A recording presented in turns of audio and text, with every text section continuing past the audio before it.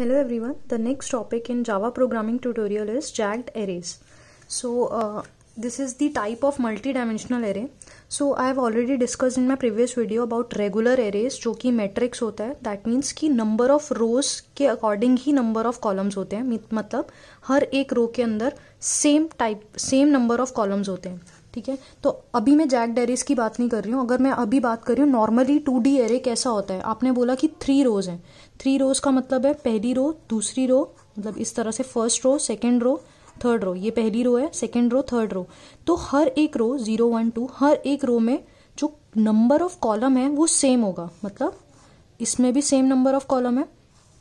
इसमें भी same number of column है, इसमें भी सेम नंबर ऑफ़ कॉलम है। मतलब अगर फ़र्स्ट रो में तीन कॉलम्स हैं वन टू थ्री तो सेकेंड रो में भी थ्री कॉलम्स ही होंगे और थर्ड रो में भी थ्री नंबर ऑफ़ कॉलम्स होंगे। अगर चार कॉलम्स होंगे तो हर एक में चार होंगे मतलब सिमिट्री होगी स्क्वेयर बनेगा, ठीक है?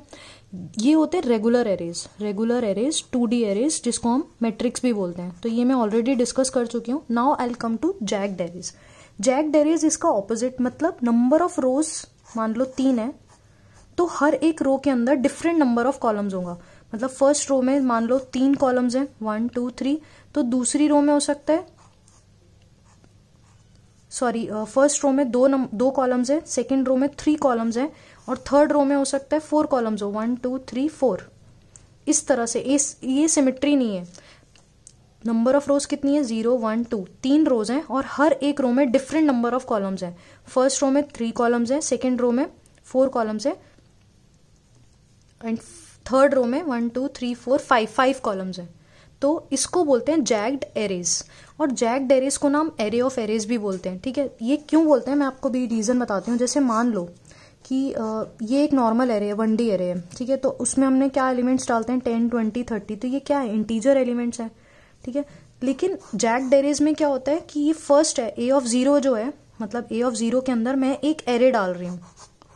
ये एक एरे डाल दिया मैंने। नॉर्मल एलिमेंट नहीं डाला, उस फ़र्स्ट वाले एलिमेंट में ए ऑफ़ ज़ीरो में मैंने ये ज़ीरो वन टू इस तरह से तो एरे का नाम है से सपोज़ ए तो मैंने ए ऑफ़ ज़ीरो में एक एरे डाल दिया। एलिमेंट ना डालकर मैंने उसमें एक एरे डाल दिया। फिर ए ऑफ़ वन के अंदर मैंने एक एरे डाल दिया, जिसके अंदर दो दो, जिसका साइज़ टू है, ठीक है? और ए ऑफ़ टू के अंदर भी मैंने एक एरे डाल दिया, जिसका साइज़ मान लो फोर है, ठीक है? तो क्या है ये? एरे ऑफ़ एरेज इसको जैक डेरे को हम बोलते हैं एरे ऑफ़ एरेज भी बोलते हैं।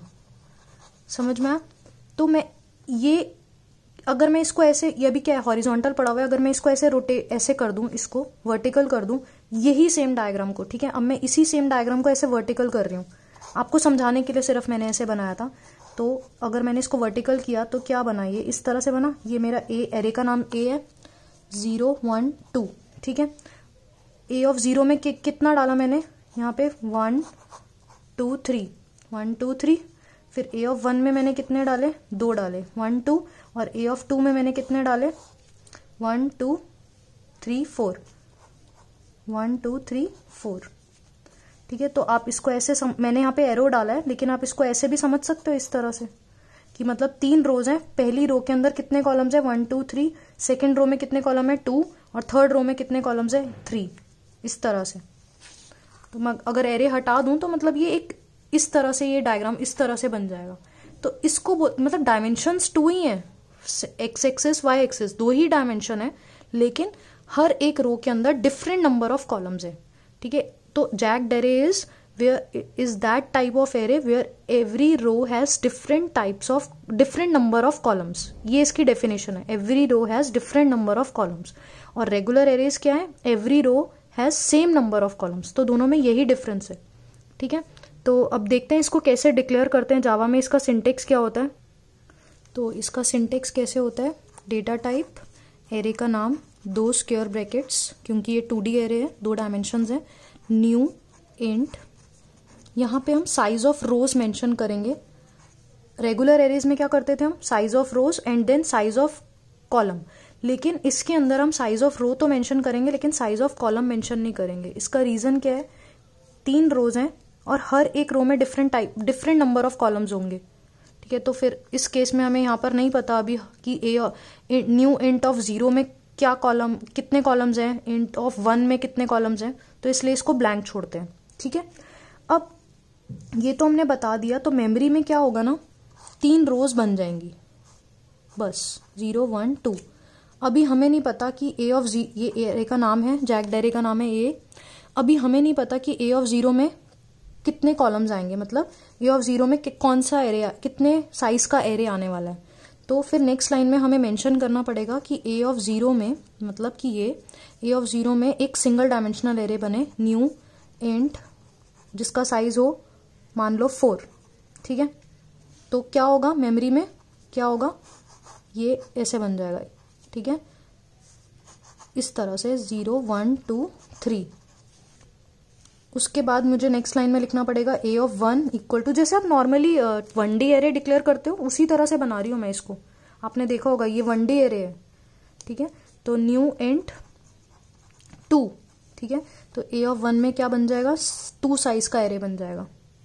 ज़ीरो वन क्लियर उसके बाद ए ऑफ़ टू में न्यू एंड मान लो मैंने माना है यहाँ पे थ्री तो ए ऑफ़ टू में क्या बन जाएगा ज़ीरो वन टू तो ए ऑफ़ ज़ीरो ज़ीरो ये हो गया A of zero one A of zero two A of zero three फिर इसी तरह से A of one zero A of one one A of two zero A of two one A of two two इस तरह से आप access करोगे इन elements को क्लियर तो ये तो हो गया कि आपने डिक्लेयर कर दिया एलिमेंट्स नहीं डाले हैं, सिर्फ़ आपने यहाँ पर बता दिया। अब या तो आप यूज़र से इनपुट करवा सकते हो तो उसके लिए एक्सेस कैसे करना पड़ेगा? ए ऑफ़ ज़ीरो ज़ीरो मतलब ए ऑफ़ ज़ीरो ज़ीरो का मतलब है यहाँ पर एलिमेंट आएगा। फिर A of one A of zero one मतलब यहाँ पे एलिमेंट आएगा। तो या तो आप यूज़र से इनपुट करवा लो, या फिर आप इनिशियलाइज भी कर सकते हो वैल्यूज़ को। जब इनिशियलाइज करेंगे तो कैसे करेंगे? अगर मैंने मान लो ए ऑफ़ ज़ीरो में वैल्यूज़ इनिशियलाइज करनी है तो कैसे करेंगे आप? जैसे नॉर्मली करते हो वन डी एरे में न्यू इंट अब आप यहाँ पे साइज़ नहीं दोगे।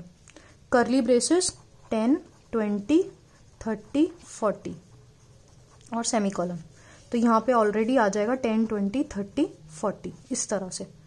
अब ये भी तरीका है, ये ये क्या तरीका है कि आप यूज़र से इनपुट करवाना चाह रहे हो, आपने एलिमेंट्स नहीं बताए हैं और दूसरा तरीका है, आप ऐसे कर सकते हो। अगेन ए ऑफ़ वन के लिए भी ऐसे कर सकते हो A of one new and और फिर दो आपने अभी तो आपने यहाँ पर साइज़ बताया हुआ है। अदरवाइज़ आप नहीं बताओगे तो जितने एलिमेंट्स आप डाल रहे हो, उतने एलिमेंट्स आपके ओपन हो जाएँगे इस तरह से। तो मतलब ये भी तरीका है, आप साइज़ दे भी सकते हो और मतलब साइज़ एलिमेंट्स पहले से ही दे सकते हो और ये तरीका भी है कि आप ऐसे भी कर सकते हो। So I will discuss one example with you so this is the example of jagged array clear तो यहाँ पर क्या हो रहा है कि एक क्लास बनाइए टेस्ट मेन मेथड है। ये जैक डेरे बता दिया कि इसमें थ्री रोज हैं। ओके सो हर एक रो में uh, मैं यहाँ पर बना रही हूँ तो ये जब लाइन एग्जीक्यूट होगी तो क्या होगा? तीन रोज बनेंगी। ज़ीरो वन और ये हो गई टू ठीक है? उसके बाद ए ऑफ़ ज़ीरो के अंदर न्यू सिंगल डायमेंशनल एरे बने और उसमें वैल्यूज़ डल जाए टेन ट्वेंटी थर्टी तो ए ऑफ़ ज़ीरो में एक एरे बनाया सिंगल डायमेंशनल एरे बनाया और उसमें एलिमेंट्स भी डाल दिए यूज़र से नहीं लिए ठीक है? तो ये मेरे जैक डेरे का नाम है ए तो ए ऑफ़ ज़ीरो में क्या एलिमेंट्स डाले? टेन ट्वेंटी थर्टी ठीक है? उसके बाद A of one new int एक और ए ऑफ़ वन के मतलब कि पहली रो में तीन कॉलम्स है, फिर दूसरी रो में चार कॉलम्स है, ठीक है? तो दूसरी में फिर एलिमेंट्स डलेंगे फोर्टी फिफ्टी सिक्सटी सेवेंटी और इनके indexes zero one two zero one two three मतलब फ़र्स्ट रो में तीन कॉलम्स सेकेंड रो में चार कॉलम्स और जो थर्ड रो है, उसमें कितने कॉलम्स हैं? टू कॉलम्स हैं। तो इस तरह से ज़ीरो वन एट्टी नाइन्टी तो ये सब मेंशन किया हुआ है। यूज़र से इनपुट नहीं लिया है इस वाले एग्ज़ाम्पल में। तो आप चाहो तो आप यूज़र से इनपुट लेके वो ट्राई कर सकते हो। स्कैनर क्लास आपको यहाँ पे इंपोर्ट करनी पड़ेगी और आप यूज़र से इनपुट ले सकते हो। ठीक है, अब अब एरे में एलिमेंट्स डल चुके हैं। अब हमें इनको एक्सेस करना है। ठीक है, अब एक्सेस करने के लिए अगेन ऑब्वियसली रोज हैं कॉलम्स हैं। ये नंबर ऑफ़ रोज हैं, ये नंबर ऑफ़ कॉलम्स हैं। बट नंबर ऑफ़ रोज हर एक रो में डिफरेंट नंबर ऑफ़ कॉलम्स हैं चैक डेरीज में ठीक है?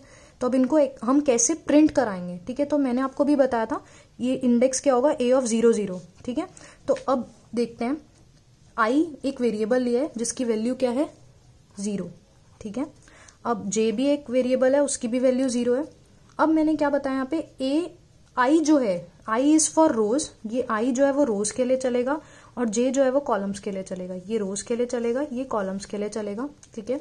अब क्या बोल रहा है? कब तक चलेगा ये? ए डॉट लेंथ ठीक है? I is less than A dot length A dot length का मतलब है कि रोज की लेंथ कितनी है? मतलब थ्री तो ये थ्री तक चलेगा। ए डॉट लेंथ मतलब आपके जैक डायरे का साइज़ क्या है नंबर ऑफ़ रोज कितनी है? थ्री है। तो ये थ्री रिटर्न करेगा लेंथ प्रॉपर्टी ठीक है? नेक्स्ट हम अब हमारा आई ज़ीरो है। Zero less than three condition true है।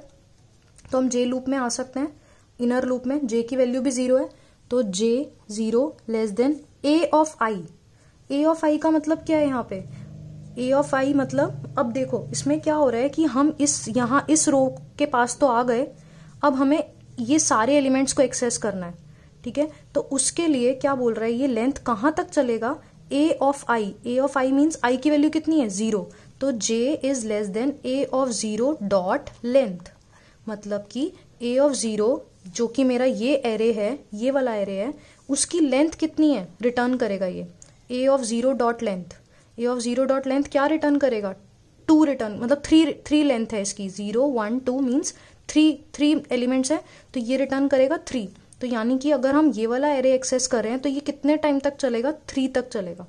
तो यहाँ पे क्या होगा? Zero less than A of I A of I means A of zero dot length A of zero की लेंथ कितनी है? ये है। थ्री तो ये रिटर्न करेगा थ्री तो यानी कि ये zero is less than three condition true तो क्या प्रिंट होगा? A of I which is zero J which is zero A of zero zero यानी कि क्या प्रिंट होगा? टेन आउटपुट आएगा टेन अब फिर से आगे बढ़ेंगे। ये जे लू फिर से आगे जाएगा। जे वन हो जाएगा। तो अब क्या होगा? A of zero one A of zero one is twenty तो ट्वेंटी प्रिंट होगा। फिर से जे टू हो जाएगा।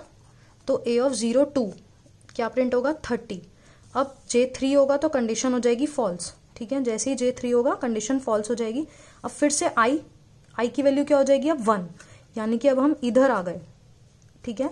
तो आई की value one one is less than three condition true अब हम इधर आएँगे। अगेन जे क्या हो जाएगा? ज़ीरो हो जाएगा। ठीक है? अब क्या बोल रहे हैं? J is less than A of I dot length यानी कि अब आई क्या है? आई इज़ नाउ वन ठीक है? तो A of one dot length A of one dot length यानी कि हम A of one A of one dot length ये लेंथ कितनी है? One two three four four तो ये कहाँ तक चलेगा? फोर तक चलेगा। क्यों? क्योंकि मुझे अब ये वाले एक्सेस करने हैं। तो A of I means A of one dot length आप देख रहे हो कैसे हम रोज और कॉलम्स को एक्सेस कर पा रहे हैं थ्रू दीज टू लूप्स तो अब ए ऑफ़ अब जे जो है वो फोर तक चलेगा। फोर से चलेगा। ठीक है? तो अब जे अभी आई कितना है? वन है। जे ज़ीरो है। तो वन ज़ीरो क्या प्रिंट होगा? A of I J means one zero. One zero is forty अब फिर से जे बढ़ेगा टू हो जाएगा सॉरी uh, वन हो जाएगा। तो A of one one A of one one is what fifty ठीक है? अब जे टू होगा। A of one two is sixty ठीक है? फिर जे थ्री हो जाएगा। तो थ्री लेस देन फोर क्योंकि ये फोर तक चलने वाला है। तो भी कंडीशन ट्रू है तो सेवेंटी प्रिंट होगा। अब जैसे ही जे फोर होगा तो कंडीशन फॉल्स हो जाएगी। Four less than four is condition false अब आई की वैल्यू कितनी हो जाएगी? वन से टू यानी कि अब हम इस वाली रो पे आ गए। अब फिर से जे ज़ीरो हो जाएगा, ठीक है? अब कितना चलेगा? A of I dot length तक चलेगा। यानी कि A of two dot length A of two की लेंथ कितनी है? टू ज़ीरो वन टू है ना? तो ये अब टू तक चलेगा। जे लूप जो है, वो दो बार चलेगा। यानी कि टू ऑफ़ ज़ीरो जे फिर से ज़ीरो हो गया। A I J means A of two zero A of two zero is what eighty तो एट्टी प्रिंट होगा। फिर जे की वैल्यू वन हो जाएगी। आई अभी भी टू ही है। A of two one A of two one is ninety ठीक है? अब जे की वैल्यू टू हो जाएगी। तो ये तो टू तक ही चलने वाला था। ठीक है ना? A of two dot length था। टू डॉट लेंथ मतलब टू तो ये टू तक ही चलने वाला था। तो अगर मेरा जैसे ही टू हो जाएगा जे वन से अब टू होगा। तो क्या होगा? Two less than two which is false तो इस तरह से आपके एलिमेंट्स प्रिंट हो जाएँगे। सो आई होप आपको जैक डेरेस का कंसेप्ट क्लियर होगा everyone thank you so much everyone